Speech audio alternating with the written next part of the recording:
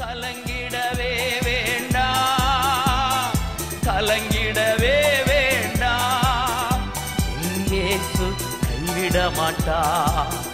என் இயேசு கைவிட மாட்டா. உங்கள் துக்கம் சந்தோஷமாய் கிறிஸ்துக்கு மிகவும் பிரியமான தேவ பிள்ளைகளே உங்களை இயேசுவின் இனிதான நாமத்தினால் உங்களை வாழ்த்துகிறேன்.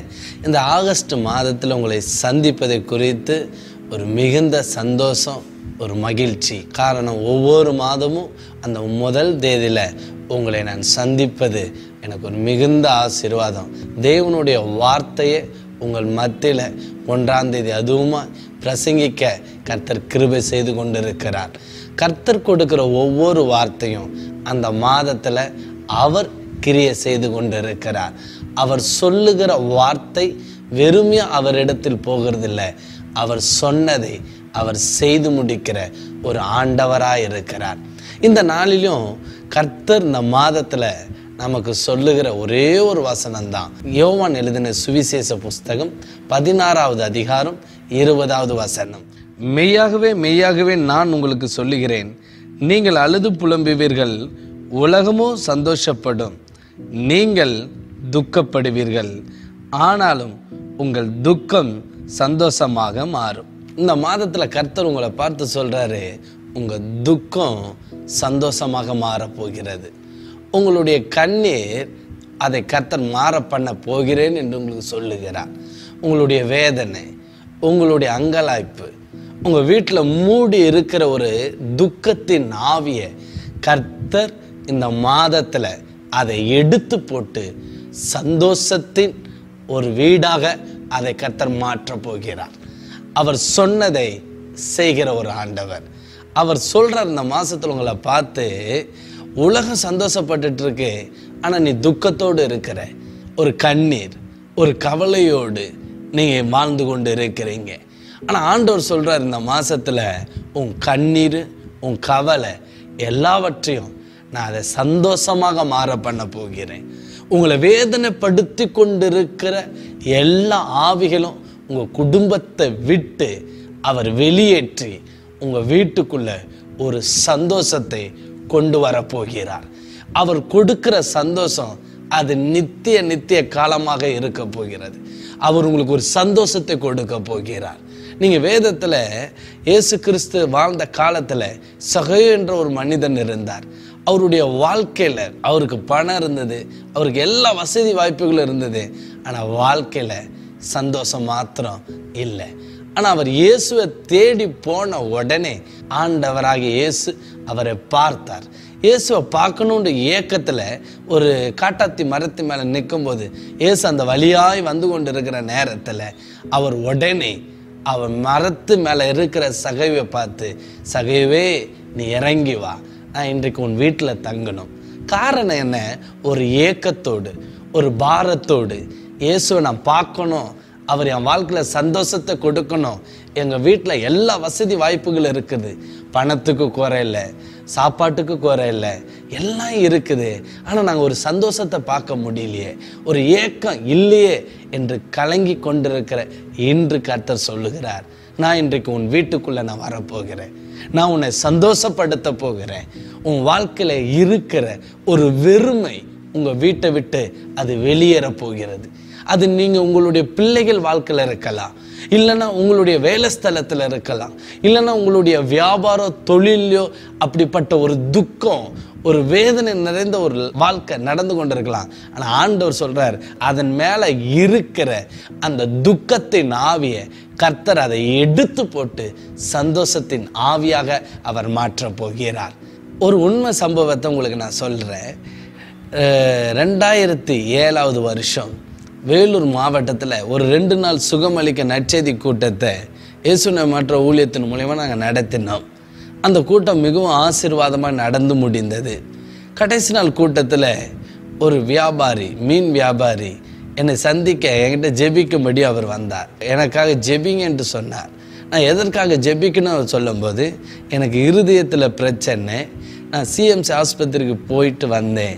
அவங்க ஆப்ரேஷன் பண்ணணும். ஒன்றரை லட்சம் செலவாகும் அப்படி அவங்க சொன்னாங்க. ஆனால் என்கிட்ட அந்த வசதியான பணம் இல்லை. அதனால ஜெபிச்சுட்டு போகலாம் ஏசு எல்லாரையும் சுகமாக்குறாரே என்று என்னை பார்க்க வந்தாங்க. அவர் சொன்ன பிறகு அவருக்காக நான் ஜெபிக்க ஆரம்பித்தேன். அவருடைய இறுதிய பிரச்சனைக்காக நான் ஜெபித்து முடித்துட்டு நாங்களும் முடிந்து கூட்டம் முடித்து நாங்கள் வீட்டுக்கு வந்துட்டோம்.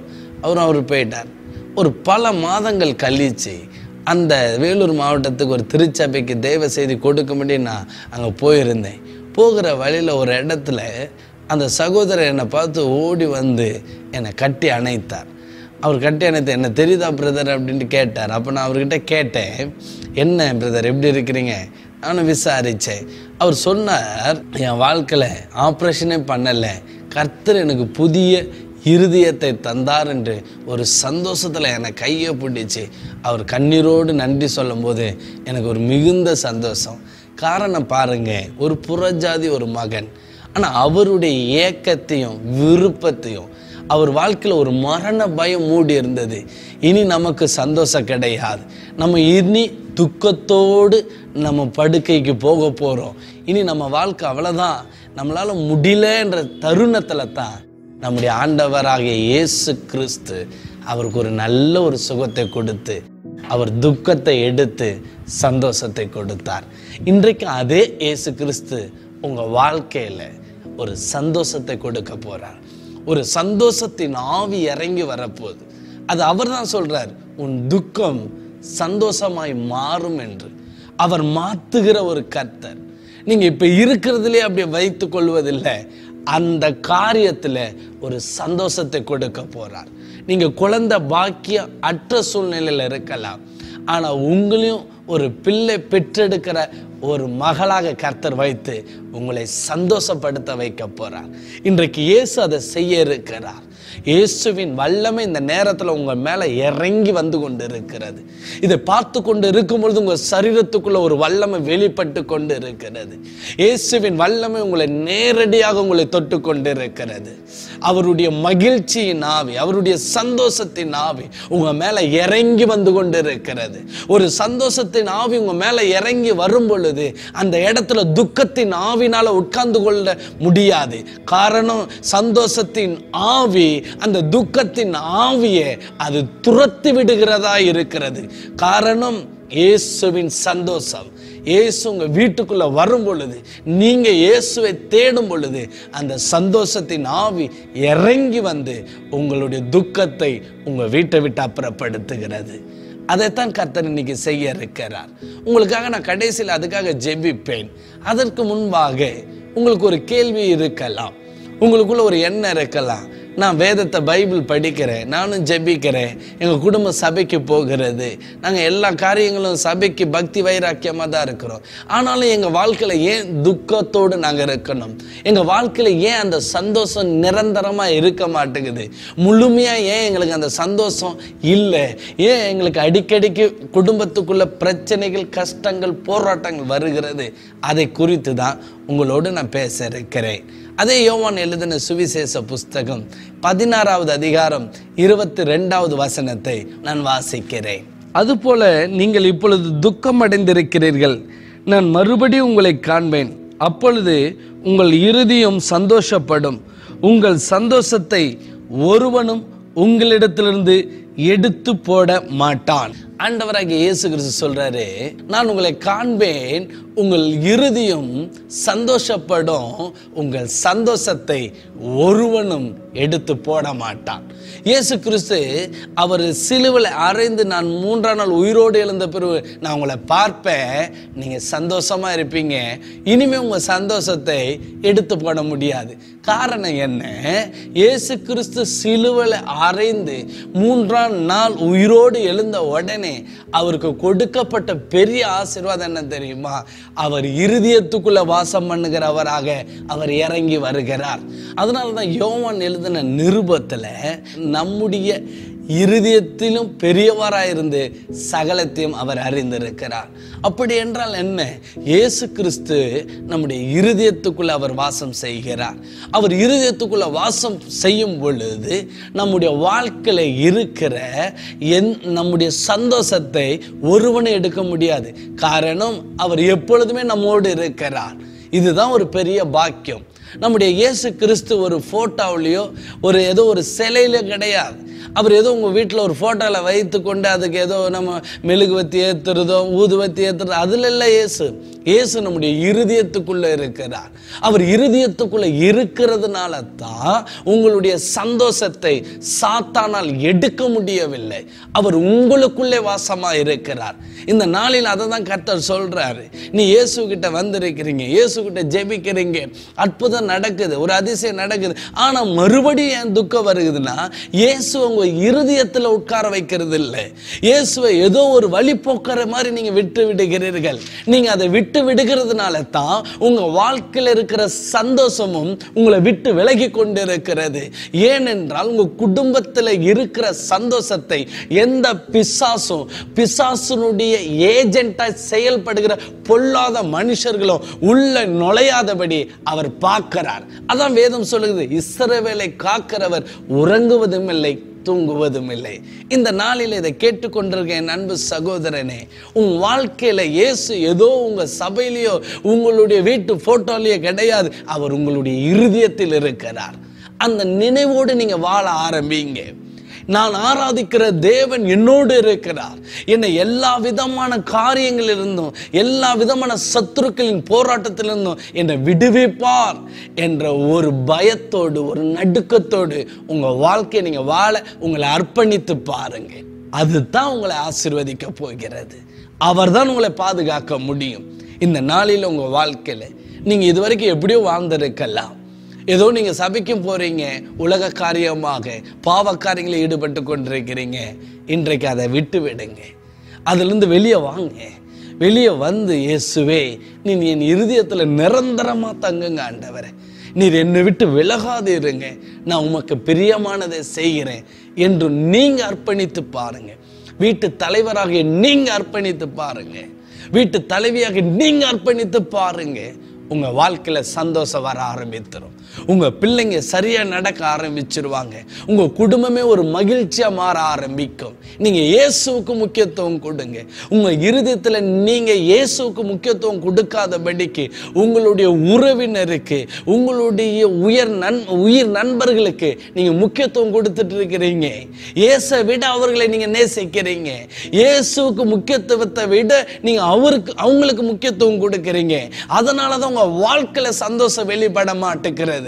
அதனால தான் உங்க குடும்பத்துல ஒரு மகிழ்ச்சி நிலைத்து நிற்க மாட்டிருக்குது. அந்த காரியத்துல இருந்து மனம் திரும்புங்க. இன்றைக்கு இயேசு சொல்லுகிறார் உங்க வீட்டில் இருக்கிற துக்கத்தை நான் மாத்துறேன். உன்னுடைய கண்ணீரை நான் மாற பண்ண போகிறேன். உன்னுடைய வேதனையை நான் மாற பண்ண போகிறேன். ஆனா நீ ஒன்று செய்.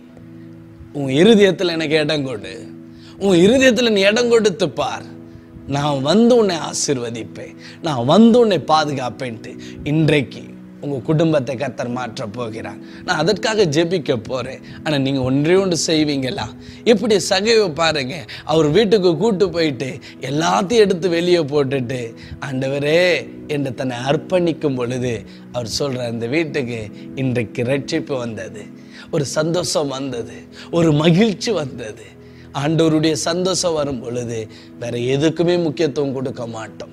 எப்படி சகை வாழ்க்கை முழுவதும் பணம் தான் ஆடம்பர வாழ்க்கை தான் முக்கியம். அதையே எண்ணிட்டு இருக்கும்போது அவன் சந்தோஷத்தை இழந்துட்டான். ஆனால் இயேசுவை தன் வாழ்க்கையிலையும் தன்னுடைய இருதயத்திலும் வீட்டுக்குள்ளேயும் கொண்டு வரும் பொழுது அவன் மிச்சதை எல்லாத்தையும் உதறி தள்ளி அவருக்கு முக்கியத்துவம் கொடுத்தான். இன்றைக்கு இதை பார்த்து கொண்டிருக்கிற என் அன்பு சகோதரனே என் அன்பு சகோதரியே உன் வாழ்க்கையில் நீ எதுக்கு முக்கியத்துவம் கொடுத்திருக்கிறேன் உன்னுடைய தொழில் உன்னுடைய படிப்பு உன்னுடைய குடும்பம் உன்னுடைய திறமை உன்னுடைய நண்பர்களுக்கு உன்னுடைய உறவினர்களுக்கு இந்த நாளிலும் கர்த்தர் இன்றைக்கு உங்களை பார்த்து சொல்லுகிறார். உன் துக்கத்தை நான் சந்தோஷமாய் மாற பண்ண போகிறேன். ஆனால் உன் வாழ்க்கையில் நீ எனக்கு கொடுக்க வேண்டிய முக்கியமான இடத்த வேற யாருக்கும் கொடுக்காத? நான் எனக்கு நீ கொடுக்க வேண்டியது ஒன்றே ஒன்று உன் இருதயத்தில் மட்டும் இடம் கொடு. மிச்சத்துக்கு இடம் கொடுக்காதீங்க. ஆண்டவரை விட நீங்கள் தொழிலை முக்கியத்துவப்படுத்தாதீங்க. ஆண்டவரை விட உங்களுடைய குடும்பத்தை முக்கியத்துவப்படுத்தாதீங்க. முதலாவது ஆண்டவருக்கு முக்கியத்துவம் கொடுங்க. ரெண்டாவது உங்கள் குடும்பத்தை நேசிக்க ஆரம்பிங்க. மூணாவது நீங்கள் செய்கிற தொழிலோ வியாபாரமோ வேலையோ உங்களுடைய படிப்பு சந்தனம் அதுக்கு முக்கியத்துவம் கொடுங்க. அப்பொழுதுதான் கர்த்தர் உங்களை வாழ்க்கை முழுவதும் சந்தோஷமாக வைக்க போகிறார். இன்றைக்கு கர்த்தர் உங்களோடு பேசி இருக்கிறார் இன்றைக்கு நான் உங்களுக்காக ஜெபிக்க இருக்கிறேன் என்னோடு இணைந்து ஜெபிப்பீங்கெல்லாம் உங்கள் வாழ்க்கையில் இருக்கிறத ஒப்பு கொடுத்துருங்க. அதெல்லாம் வெளியே தள்ளிடுங்க இருதயத்தில் ஏசு இருக்கட்டும். ஏசு இருதயத்தில் இருக்கும்போது பெருமை உள்ள நுழையாது. நம்முடைய வாழ்க்கையில் பெருமையின் ஆவி உள்ள வராதபடி இயேசு பாதுகாத்து கொள்வார். இப்பொழுது நான் உங்களுக்காக ஜெபிக்கிறேன். ஜெபிக்கலாம். அன்புள்ள தகப்பனே இந்த ஆகஸ்ட் மாதம் ஒன்றாம் தேதி உம்முடைய வார்த்தையை கேட்டு என்னோடு ஜெபிக்க தன்னை அர்ப்பணித்திருக்கிற ஒவ்வொரு பிள்ளைகள் மேலும் உம்முடைய அற்புதமுள்ள கரம் இறங்கி வரும்படி நான் ஜெபிக்கிறேன்ப்பா. ஆண்டவரே இந்த நாளிலும் உம்முடைய அபிஷேகம் நிறந்த வார்த்தையை உம்முடைய பிள்ளைகளுக்கு நான் பேசி இருக்கிற ஆண்டவரே. அந்த வார்த்தையின் வல்லமை இன்றைக்கு அவங்களை அர்ப்பணிக்க வைத்து கொண்டிருக்கிற நேரத்தில் இப்பொழுதே உம்முடைய வல்லமை இறங்கி வரும்படி நான் செபிக்கிறேன்ப்பா. இந்த பிள்ளைகள் வாழ்க்கையில ஏதோ ஒரு துக்கத்தின் ஆவி இவங்க குடும்பத்தை அழுத்து கொண்டிருக்குது ஆண்டவரே. இயேசுவின் நாமத்தில் அது விலகட்டும் அப்பா. இயேசுவின் நாமத்தில் அது விலகட்டும் கர்த்தருடைய மகிமை இறங்கி வருவதாக ராஜா. இந்த நேரத்தில் ஸ்கின் அலர்ஜிக்காக ஸ்கின்ல இருக்கிற ஒரு கர்த்தவை சோத்திருக்கிறோம் அப்பா. ஒரு வியாதினால கஷ்டப்பட்டு இருக்கிற என் அன்பு சகோதரிய கர்த்தருடைய கரம் இறங்கி வருகிறது. இப்பொழுதே ஸ்கின்ல இருக்கிற பிரச்சனைகள் இயேசுவின் நாமத்துல மாறட்டும் ஆண்டவரே. கர்த்தருடைய வல்லமை இப்பொழுது இறங்குவதாக. இயேசுவின் நாமத்துல இறங்கட்டும் அப்பா. இன்னைக்கு துக்கத்தோடு கண்ணீரோடு வேதனையோடு ராஜா புலம்பிட்டு இருக்கிற பிள்ளைகளுக்கு இப்பொழுதே கர்த்த கர்த்தருடைய வல்லமை சந்தோஷத்தின் வல்லமை. இப்பொழுது நீர் அந்த வீட்டில் இறங்கி வருவீராக. ஆலை லூயா இறங்கி வருவீராக தகப்பனு. நீர் வரும் பொழுது அந்த வீட்டில் ஒரு சந்தோஷம் இறுதியும் சந்தோஷம் அடையும் சொன்னபடி இப்பொழுதே ஒவ்வொரு இறுதியும் சந்தோஷம் அடையட்டும்பா இருதயத்தை ஆக்கிரமித்து வைத்திருக்கிற துக்கத்தின் ஆவியே நஸ்ரனகை இயேசுவின் நாமத்தில் வெளியேறுவாயாக. ஒவ்வொரு பிள்ளைகளை விட்டு வெளியே வெளியேறு இனி வாழ்க்கை கிடையாது. இனி என் வாழ்க்கை முடிந்தது. என் சந்தோஷம் என்னை விட்டு விலகினது. என்னை நேசித்தவர்கள் என்னை விட்டு போய்விட்டார்கள். இனி வாழ்வதை விட மறித்தலாம் என்று கண்ணீரோடு இருக்கிற பிள்ளைகளுடைய இருதயத்தில் இயேசுவின் ரட்சிப்பின் வல்லமை இயேசுவின் மகிமையின் ஒளி அவங்க இருதயத்தை சந்தோஷப்பட வைக்கட்டும்பா. அந்த இருதயத்தை சந்தோஷமடைய வைக்கட்டும் என்று நான் இயேசுவின் நாமத்தில் ஆசிர்வதிக்கிறேன். ஒவ்வொரு பிள்ளைகள் வாழ்க்கையில் இறங்கி வரட்டும் அப்பா ஆண்டவரே பிள்ளைகளுடைய வாழ்க்கையில ஆண்டவரே ஒரு சந்தோஷம். திருமணம் ஆகாதபடி குழந்தை பாக்கியம் அற்று ஆண்டவரே தாய் தகப்பன் வேதனையோடு உம்மை நோக்கி பார்த்து கொண்டிருக்கிற அந்த பிள்ளைகள் வாழ்க்கையில கர்த்தர் ஒரு அற்புதத்தை செய்வீராக. திருமண தடைகள் மாறட்டும். இயேசுவின் நாமத்தினால இந்த மாதத்துல திருமண காரியங்கள் கைகூடி வர பண்ணுவீராக ராஜா. எல்லா தடைகளும் மாறட்டும் என்று இயேசு நாமத்துல ஜெபிக்கிறேன்ப்பா குழந்தை பாக்கியத்துக்காக. ஆண்டவரே வேதனையோடு ஹாலே லூயா அப்பா அழுகையோடு இருக்கிற பிள்ளைகளுக்கு கர்த்தாவே இப்பொழுதே கர்ப்பத்தில் ஒரு கனியை உண்டாக்கும்படி ஜெபிக்கிற கர்ப்பத்தில் கனி உண்டாகாதபடிக்கு போராடுகிற பழைய அந்தகார இருளின் வல்லமைகள் விக்கிரகத்தின் ஆவிகள் எல்லா விதமான கர்த்தாவே சாபத்தின் வல்லமைகள் இயேசுவின் நாமத்தில் நிர்மலமாகட்டும். அப்பா ஆலே லூயா ஏசு ரத்தத்தில் கர்ப்பத்தில் கர்த்தருடைய வல்லமை இறங்கி வரும்படி ஜெபிக்கிறேன். ஏசுவி நாமத்தில் இறங்கி வரட்டும். அற்புதம் செய்யுங்க தகப்பனே. அப்பா நீங்க அப்படி செய்கிறதுக்காக நன்றி. நன்றி ராஜா நன்றி ராஜா. ஆண்டவரே எங்க கணவருக்கு ஒரு அற்புதம் நடக்காதா? என் கணவருடைய வியாதி மாறாதா? என் கணவருடைய வியாதி குணமாகாதா? இந்த வியாதியிலிருந்து ஒரு விடுதலை வராதா? என்று கத்தவே மனைவிகள் ஆண்டவர் சோத்திரிக்கிறோம் அப்பா. ஆண்டவரே கண்ணீரோடும் இடத்துல கேட்டுக்கொண்டிருக்கிறாங்க. அப்படிப்பட்டவர்கள் மேல உம்முடைய கரம் இறங்கி வரட்டும். உம்முடைய சுகமளிக்கிற வல்லமை இயேசுவின் நாமத்தினால இறங்கி வரும்படி ஜெபிக்கிறப்பா. நீர் அற்புதத்தை செய்வீராக ராஜா. அதிசயம் உண்டாகட்டும் என்று இயேசுவின் நாமத்தில் ஆசீர்வதிக்கிறப்பா. நீர் அப்படி செய்கிறதுக்காக நன்றி நன்றி நன்றி ஆண்டவர். மீட்பர் இயேசுவின் நாமத்துல நான் ஜெபிக்கிறேன்ப்பா. எங்க ஜீவனுள்ள நல்ல பிதாவே. ஆமேன் ஆமேன். கத்திருந்த இந்த நாள்ல உங்க ஜெபத்தை கேட்டிருக்கிறார். உங்கள் ஜெபத்துக்கு பதில் வந்திருக்கிறது. கண்டிப்பாக ஒரு பெரிய மகிழ்ச்சி நாவி. ஆண்டவரே உங்கள் வீட்டுக்குள்ளே இறங்கி வந்திருக்கிறாரு. ஒரு ஆசீர்வாதத்தை நீங்கள் பார்ப்பீங்க. இயேசுவினுடைய கரம் உங்கள் வீட்டை மூடிக்கொள்ளும். உங்களுக்கு ஆண்டவர் அற்புதம் செய்திருக்கிறார். உங்கள் குடும்பத்தில் இருக்கிற காரியங்களுக்கு ஆலோசனை சொல்லி ஜெபிக்கணும் என்றால் எங்களுடைய ஃபோன் நம்பரை நீங்கள் தொடர்பு கொள்ளுங்கள் உங்களுக்காக நான் அல்லது நம்முடைய ஊழியத்தில் இருக்கிற ஊழியக்காரர்கள் உங்களுக்காக ஜெபிப்பாங்க. கத்தர் உங்களை ஆசீர்வதிப்பார். இந்த மாதம் உங்களுடைய வாழ்க்கையில் ஒரு சந்தோஷத்தின் மாதமாக இருக்க போகிறது கர்த்தர் உங்களை ஆசிர்வதிப்பார். ஆமென்.